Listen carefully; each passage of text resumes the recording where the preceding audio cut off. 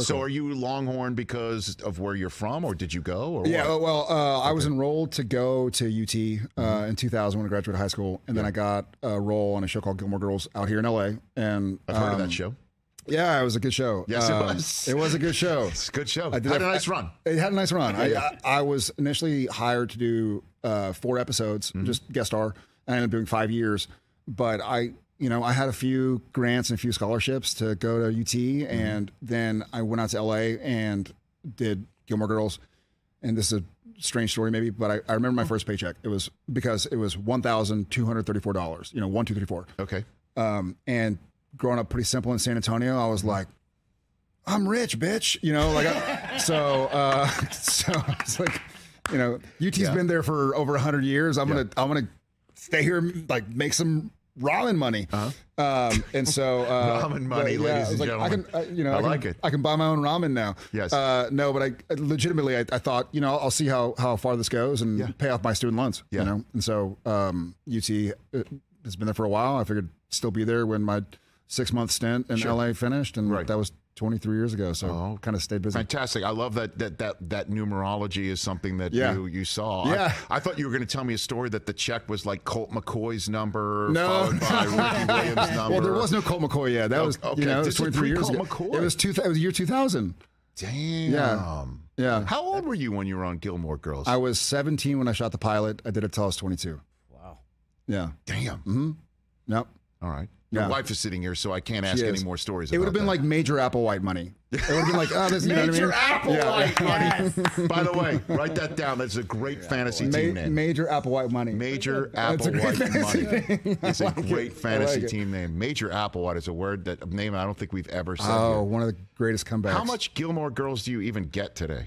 A ton still, or you're Uh, just such a grown ass man now that you you're somewhat unrecognizable. I, you know what's funny is that I appreciate that. You're welcome. I uh, a lot when I was on Gilmore Girls, uh, it was you know pre uh, whatever's called not TiVo. Yeah. Pre, you know, we can record it and watch it, and so I didn't see a lot of the episodes. I just kind of went to work. DVR or anything like DVR, that? DVR. Yeah, sure. Um, there was no Netflix. though. That, I think that's Major Applewhite. That's era. major. yes, exactly. Recording, yes. Um, Right. So I, uh, I didn't. It, it wasn't really a big show at the time, Yeah. and I didn't see a lot of it. I was busy auditioning for other Sure. roles and this and that, and so it was after I left Gilmore Girls that people would start coming up and saying, "Oh my God." Team Dean or Team Jess or whatever.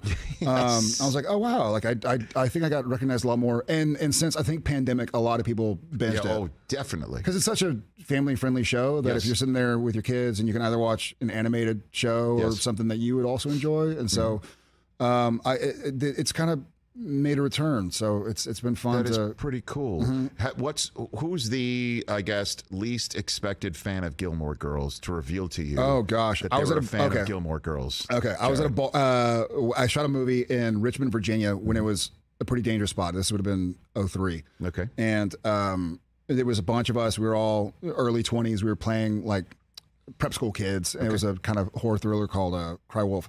And we had very like we had areas of like it was low budget, so like, hey, don't go to this part of town, don't go to Tobacco Row, blah blah blah. Y'all should stay around here. Like yeah, yeah, yeah. Long story short, we ended up filming at a location that's near one of the dangerous spots, but we're like, hey, it's almost closed. Let's just get a drink at a bar. Like it's gonna be fine. There are Yeah. six of us.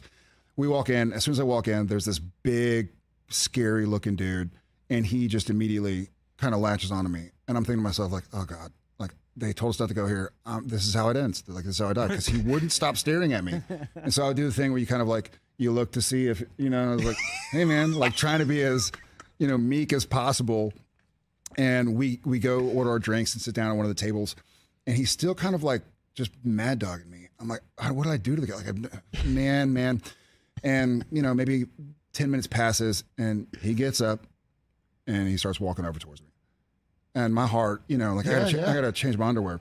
Um, and he kind of gets over, and I'm like, oh god, I'm, I'm gonna get beat up, and I, I would just run, but there were like young ladies, and so I was like, I can't like leave them to get beat up. He comes over and he kind of looks around and he looks really suspicious.